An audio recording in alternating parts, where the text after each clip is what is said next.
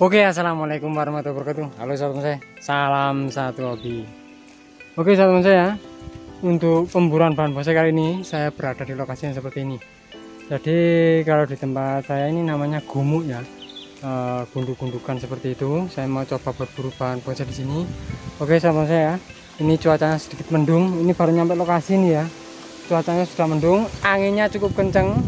Takut keburu hujan, langsung saja nggak lama kita cek kira-kira di tempat seperti ini ada jenis bahan bonsai apa saja oke? Langsung saja ikuti terus pemburuan jaya bonsai.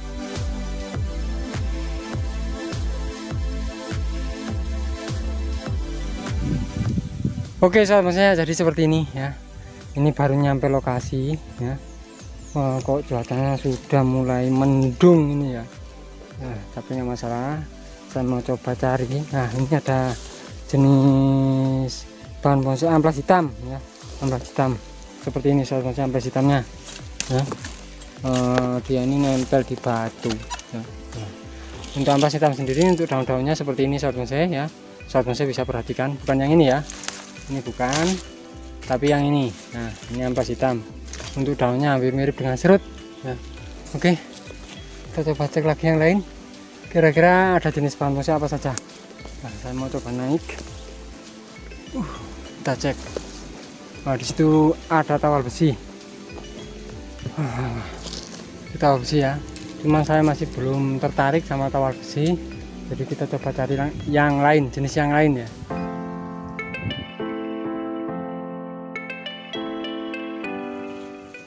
Oke sahabat saya untuk cuacanya ya. Sahabat saya bisa perhatikan sebelah sana. Uh, uh mendungnya sudah gelap tapi di sini saya masih belum menemukan jenis bahan bonsai uh, yang karetnya bagus atau jenis bahan bonsai lain lah intinya ya. Oke kita coba cek lagi ke tempat yang lain. Oke saya bonsai ya. Ini masih belum ada ha, masih belum melihat ya nah, jenis bahan bonsai yang bisa saya dongkel ini. Uh, sudah mulai pengumur saya bonsai belum dapat. Oke kita coba cek lagi ke yang lain takut keburu hujan saat saya nah ini ada jenis bahan bonsai 70 ya.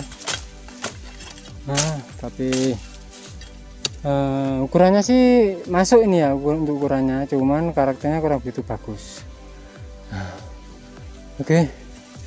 kita coba cek ke atas. Uh sampai ngos-ngosan ya takut duduk. Wah di situ. Nah itu ada jenis bonsai yang bagus ini. Tanaman. Ini seperti tanaman pacar. Uh ini sahabat bonsai nah ini saya masih belum punya untuk jenis yang ini ya. Ini apa ini sahabat bonsai ini adalah legistrum legistrum cuma yang hijau ya. Nah kebetulan saya masih belum punya. Kita coba cek dulu. Nah, ukurannya enggak terlalu besar kecil. Ya cukupan lah ini suka saya dengan karakter yang ukuran yang segini. Itu juga ada sarang semutnya. Kita coba-coba ambil. Terus kita rapikan seperti apa. Takut hujan saat bonsai ini udah gemuruh oke langsung kita ambil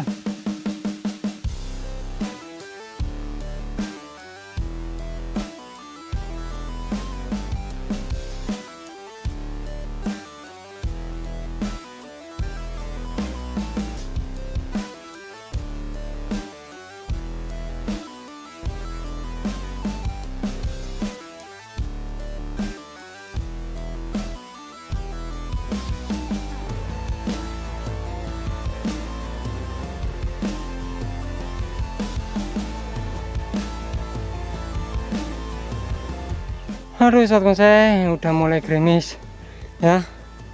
Terus ini mau saya rapikan semut hitamnya. Wah wah wah. Ini ya legistrum oke mau saya coba untuk rapikan. Kita potong-potong ya. Semutnya ini sangat ganas ini sahabat saya nah, sambil kita kita potong terus kita berteduh ke pondok. Ya kebetulan ada pondok di sana. Oke sahabat saya jadi seperti ini kecil. Uh, tadi lari ngos-ngosan ya. Karena apa? Takut hujan. Ini kita sambil berteduh ya.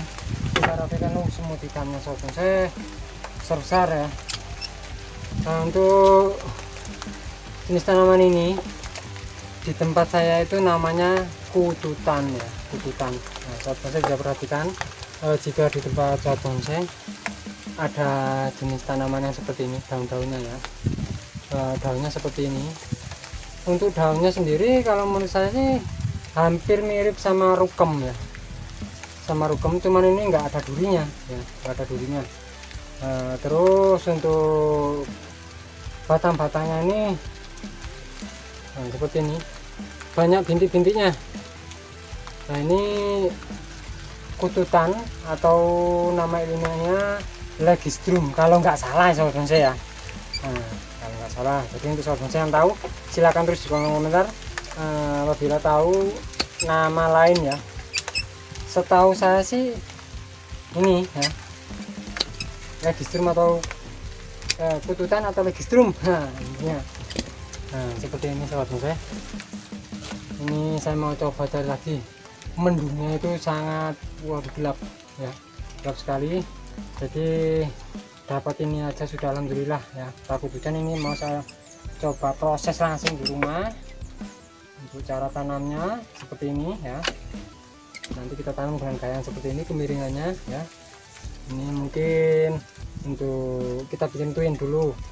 Kita bikin twin dulu.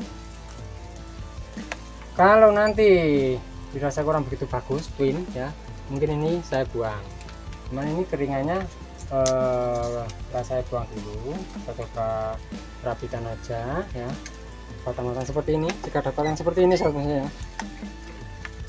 Nah kita rapikan.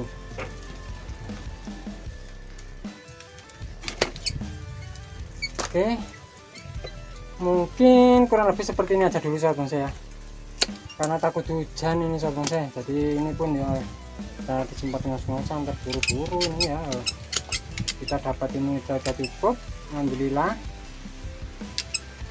Nanti kita bolang lagi ya. Mungkin insya saya mau coba berburu lagi di sini. Biasanya sahabat saya ya itu uh, mungkin ada beberapa ya. Kalau nggak satu ya mungkin yang jelas adalah kalau ada satu yang jelas di tempat sini masih ada jenis pohon bonsai yang satu ini. Kecil oke mohon maaf untuk bulan kali ini ya. Karena saya, tadi saya itu berangkatnya juga agak sore ya sudah sore. Terus sebenarnya sih mau cek lokasi. Tapi kok dapat ya alhamdulillah ya. Oke tidak apa-apa dapat ini aja udah cukup.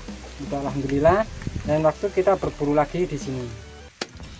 Oke sahabat bonsai karena hujan jadi untuk bolong kali ini uh, ambil satu ini aja udah cukup ya.